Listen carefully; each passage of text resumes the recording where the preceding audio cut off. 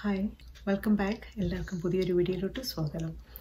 അപ്പോൾ ഇന്നത്തെ എന്റെ റെസിപ്പി എന്താണെന്ന് വെച്ചാൽ ഞാൻ ഇന്നൊരു കൊറിയൻ ഡിഷാണ് കാണിക്കുന്നത്. അതായത് കിംച്ചി എന്ന് പറയും. ഇത് കൊറിയക്കാരുടെ ഒരു ട്രഡീഷണൽ ഡിഷാണ് കേട്ടോ. ഒന്നുമില്ല ക്യാബേജ് വെച്ചുള്ള ഒരു തരം പിക്കിളാണ് ഇത് അവർ വൈറ്റ് റൈസിന്റെ കൂടെയും സ്റ്റിക്കി റൈസിന്റെ കൂടെയൊക്കെ കഴിക്കുക അല്ലാതെ അത് മാത്രമായിട്ടും ഇങ്ങനെ കഴിക്കും. അതെ. അപ്പോൾ നമുക്കൊന്ന് വീഡിയോ വാച്ച് ചെയ്യാം. അപ്പോൾ അതിന് മുമ്പ് എന്റെ വീഡിയോ ആദ്യമായിട്ടാണ് കാണുന്നതെങ്കിൽ ലൈക്ക് ചെയ്യാനും ഷെയർ ചെയ്യാനും കമന്റ് ചെയ്യാനും സബ്സ്ക്രൈബ് ചെയ്യാനും ഒന്നും മറക്കല്ലേ കേട്ടോ? അപ്പോൾ നമുക്കൊന്ന് വീഡിയോ അപ്പോൾ ഈ കാണുന്ന ക്യാബേജാണ് നമ്മൾ കിംചി ഉണ്ടാക്കാനായിട്ട് എടുക്കുന്നത്. ഇതെല്ലാവർക്കും അറിയാൻ തോന്നുന്നു കാണുമ്പോൾ ഇങ്ങനെ നീളത്തിയിരിക്കുന്ന ക്യാബേജാണ് സാധാരണ നമ്മൾ റൗണ്ടായിട്ടിരിക്കുന്ന ക്യാബേജാണ് എപ്പോഴും നമ്മൾ വാങ്ങിക്കാറുള്ളത്. അപ്പോൾ ഈ ക്യാബേജ് സാധാരണ വാങ്ങിപ്പോൾ എല്ലാവരും കുറവാണ്. അപ്പോൾ ഇത് കുറച്ചുകൂടി സോഫ്റ്റാണ് കേട്ടോ ഈ ക്യാബേജ് ഇതാണ് കിംചി ഉണ്ടാക്കാനായിട്ട് നല്ലത്. അപ്പോൾ ഇതിനെ നമ്മളൊന്ന് കട്ട് ചെയ്ത് അതിന്റെ മൂട് വശമൊക്കെ ഒന്ന് കട്ട് ചെയ്ത് കളഞ്ഞിട്ട് അതിനെ നമ്മളിങ്ങനെ രണ്ടായിട്ട് കട്ട് ചെയ്ത് അതിന്റെ അഴുക്ക ഭാഗമൊക്കെ ഉണ്ടെങ്കിൽ അതൊക്കെ ഒന്ന് കട്ട് ചെയ്ത് കളയാം കേട്ടോ. അപ്പോൾ ഇതിനെ ഇങ്ങനെ രണ്ടായിട്ട് ഒന്ന് കട്ട് ചെയ്ത് എടുക്കാം.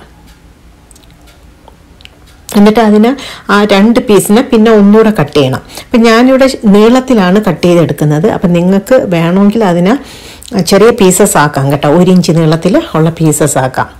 കാരണം അതാണ് കുറച്ചുകൂടി എളുപ്പം. അപ്പോൾ ഇവിടെ മോക്ക് ഇങ്ങനെ നീളത്തിൽ ചെയ്യണമെന്ന് പറഞ്ഞുകൊണ്ട് ഞാനിങ്ങനെ നീളത്തിലെടുത്തതാണ് എങ്ങനെ വേണമെങ്കിലും എടുക്കാം. ഇപ്പം നീളത്തിൽ എടുക്കുമ്പോൾ നമ്മൾ പിന്നെ കഴിക്കുന്ന സമയത്ത് അതിനെ കട്ട് ചെയ്യണം. അല്ലെങ്കിൽ ഇത്തിരി വലിയ പീസസ് ആണത്. അപ്പം ഞാൻ ഓരോ പീസും ഈ രണ്ടാക്കുന്നു. അങ്ങനെ നാല് പീസാക്കുകയാണ് എടുക്കുന്നത് കേട്ടോ. അപ്പം ഞാൻ ഇവിടെ ഒരു ക്യാബേജാണ് കാണിക്കുന്നത്. ഇത് ഇത് കൊറിയക്കാരുടെ ഒരു ഫേമസ് ഡിഷാണ് കേട്ടോ. ഈ കിംചി എന്ന് പറയുന്നത്. അപ്പോൾ ഇത് നമ്മൾ നന്നായിട്ട് എല്ലാം ഒന്ന് വാഷ് ചെയ്തെടുക്കണം. കാരണം ഇത് നമ്മൾ റോ ആയിട്ട് കഴിക്കുന്നതാണ്. അപ്പോൾ അതുകൊണ്ടാണ് അതിലെന്തെങ്കിലുമൊക്കെ കീടനാശിനിയൊക്കെ അടിച്ചിട്ടുണ്ടാവും. അതുകൊണ്ട് നന്നായിട്ട് റിൻസ് ചെയ്തെടുക്കണം ഒരു മൂന്ന് വെള്ളത്തിൽ അത് കഴിഞ്ഞിട്ട് നമ്മൾ അതിലേക്ക് കുറച്ച് ഉപ്പിട്ട് കൊടുക്കണം. അപ്പോൾ ഉപ്പ് നന്നായിട്ട് ഉപ്പിട്ടിട്ട് അതിന്റെ ഇടയ്ക്ക് ഓരോ ലീഫും ഇങ്ങനെ മാറ്റി മാറ്റി അതിന്റെ ഇടയ്ക്കൊക്കെ ഉപ്പിട്ട് കൊടുക്കണം കേട്ടോ. എന്നിട്ട് അതിനെ ഇങ്ങനെ കുറച്ച് നേരം വെച്ചേക്കണം.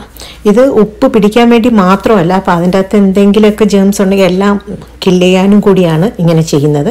അപ്പോൾ ഇതിനെ എവരി തേർട്ടി സെക്കൻഡിൽ ഒന്ന് മാറ്റി മാറ്റി ഇങ്ങനെ തേർട്ടി മിനിറ്റിൽ മാറ്റി മാറ്റി തിരിച്ചും മറിച്ചും ഒന്ന് ഇട്ട് കൊടുക്കണം. എല്ലാ വശത്തും ഇങ്ങനെ ഒന്ന് ഉപ്പ് പിടിക്കാൻ വേണ്ടി.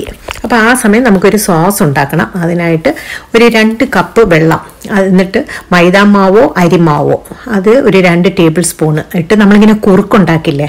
അതിൽ കുറച്ച് പഞ്ചസാരയും കൂടെ ഇട്ടിട്ട് ഇങ്ങനെ കുറുക്കുണ്ടാക്കുന്ന പോലെ നമ്മളിങ്ങനെ ഒന്ന് കുറുക്കിയെടുക്കണം. കുറച്ചിങ്ങനെ നീട്ടി എടുക്കണം കേട്ടോ. കാരണം കുറച്ച് നേരം ഇരിക്കുമ്പോൾ അത് കുറുകും. അപ്പോൾ അങ്ങനെ ഒരു കുറുക്കുണ്ടാക്കി വെക്കുക.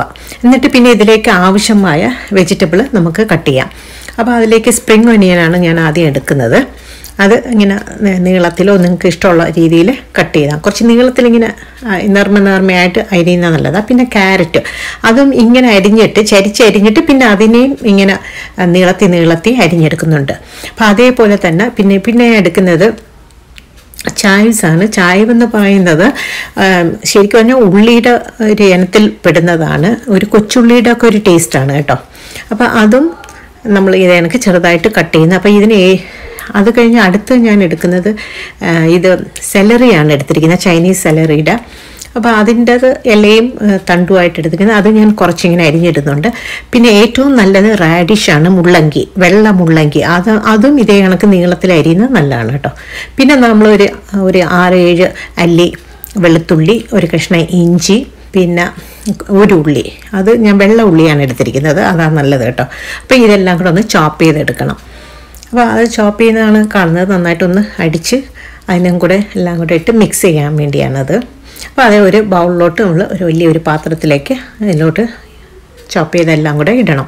എന്നിട്ട് അതിലേക്ക് നമ്മൾ കുറുക്കി വെച്ചിരിക്കുന്ന ആ കുറുക്കില്ലേ? അപ്പം ഞാൻ പറഞ്ഞല്ലോ ഇത് നമുക്ക് അരിമാവോ മൈദാമാവോ ഉപയോഗിക്കാം കേട്ടോ. അപ്പോൾ അതും കൂടെ ഇതിലോട്ട് ഒഴിക്കണം.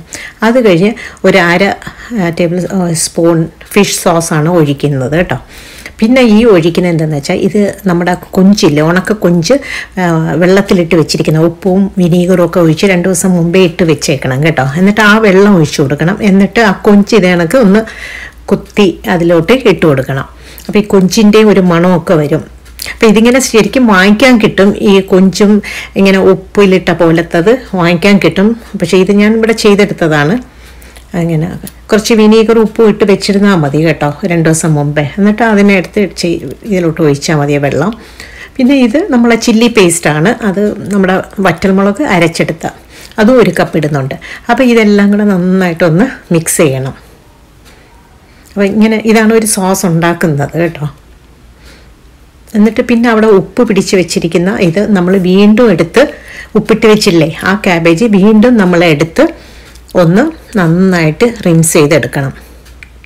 അതൊരു രണ്ട് പ്രാവശ്യമോ മൂന്ന് പ്രാവശ്യം എടുത്തിട്ട് നന്നായിട്ട് അതിനെ ഒരു സ്ട്രെയിനറിൽ വെച്ച് വെള്ളം മൊത്തം പോക്കണം. അല്ലെങ്കിൽ ഒരു ടിഷ്യൂ പേപ്പറോ തുണിയോ വെച്ച് വെള്ളം മൊത്തം ഒപ്പിയെടുക്കണം കേട്ടോ. എന്നിട്ട് ഈ സോസിലേക്ക് നമ്മൾ അരിഞ്ഞ് വെച്ചിരിക്കുന്ന ആ വെജിറ്റബിൾ എല്ലാം കൂടെ ഇട്ട് കൊടുക്കണം നമ്മുടെ carrot spring onion celery radish ഉണ്ടെങ്കിൽ റാഡിഷ് റാഡിഷ് ഏറ്റവും നല്ലതാണ് കേട്ടോ. എന്റെ കയ്യിലില്ല. അതാണ് ഞാൻ അരിയാഞ്ഞത്. അപ്പോൾ ഈ അരിഞ്ഞ് വെച്ചിരിക്കുന്ന എല്ലാ വെജിറ്റബിളും കൂടെ അതിലിടണം. പിന്നെ ഉപ്പ് നോക്കണം കേട്ടോ. കുറച്ച് ഉപ്പ് എല്ലാം കുറവുണ്ടെങ്കിൽ ഉപ്പിട്ട് കൊടുക്കാം. അപ്പോൾ വിനീഗർ വേണമെങ്കിൽ കുറച്ച് ഒഴിച്ചു കൊടുക്കാം. അപ്പോൾ ഇതെല്ലാം കൂടെ ഒന്ന് ഒഴിച്ചിട്ട് അടുത്തത് നമുക്ക് ഇത് എല്ലാം കൂടെ ആ ക്യാബേജിലോട്ട് ഒന്ന് മിക്സ് ചെയ്യണം. അപ്പോൾ എപ്പോഴും ഒരു ഗ്ലൗ യൂസ് ചെയ്യണം. അല്ലെങ്കിൽ കൈ നല്ല എരിവായിരിക്കും. അപ്പോൾ അതിന്റെ ഇതേപോലെ നമ്മൾ ക്യാബേജ് ഓരോന്ന് എടുത്തിട്ട് അതിന്റെ അകത്ത് നന്നായിട്ട് അങ്ങ് തേച്ച് പിടിപ്പിക്കണം. അപ്പോൾ അതാ പറഞ്ഞത്. ഇതിപ്പം നീളത്തിലാണ് ഞാൻ എടുത്തിരിക്കുന്നത്. നിങ്ങൾക്ക് വേണമെങ്കിൽ ഒരു ഇഞ്ച് നീളത്തിൽ കട്ട് ചെയ്ത് കട്ട് ചെയ്ത് എടുത്താൽ കുറച്ചുകൂടി ഈസിയാണ് കേട്ടോ. കഴിക്കാനും എളുപ്പമാണ്. ഇതിപ്പോൾ കഴിക്കുന്ന സമയത്ത് നമ്മൾ കട്ട് ചെയ്യണം. അപ്പോൾ അതിനേക്കാളും നമ്മൾ നേരത്തെ കട്ട് ചെയ്ത് അത് നല്ലതാണ് അങ്ങനെയും ചെയ്യാം ഇങ്ങനെയും ചെയ്യാം. അപ്പോൾ ഇത് മൊത്തം ഈ സോസ് മൊത്തം ഇതിൽ തേച്ചിട്ട് നമ്മൾ ഞാനിങ്ങനെ ഇപ്പം നീളം ഉള്ളതുകൊണ്ട് ഞാനിങ്ങനെ റോൾ ചെയ്യാണ്. ഞാനിങ്ങനെ റോൾ ചെയ്ത് ഒരു ഗ്ലാസ് കണ്ടെയ്നർ അല്ലെങ്കിൽ നമ്മുടെ ഒരു ഭരണിയോ അല്ലെങ്കിൽ ഉപ്പിലൊക്കെ ഇട്ട് വയ്ക്കുന്ന ഭരണിയില്ലേ അപ്പോൾ അതിലൊക്കെ ഇങ്ങനെ നമുക്ക് ഇട്ട് വെക്കാം. പിന്നെ ഇതിൽ ശ്രദ്ധിക്കേണ്ടത് എന്താണെന്ന് വെച്ചാൽ നമ്മൾ എയർ ടൈറ്റായിട്ട് വെക്കണം.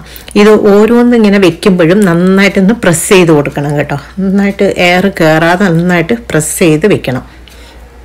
അങ്ങനെ. അപ്പം അങ്ങനെയാണ് ഞാൻ ഇവിടെ ചെയ്യുന്നത്. അപ്പം ഞാൻ ഇതൊരു വേറെ ഒരു ബോട്ടിലും പിന്നെ ഒരു ചെറിയൊരു ഗ്ലാസ് കണ്ടെയ്നറിലും രണ്ടിലും ആക്കിയാണ് വെച്ചത്. ഇങ്ങനെ.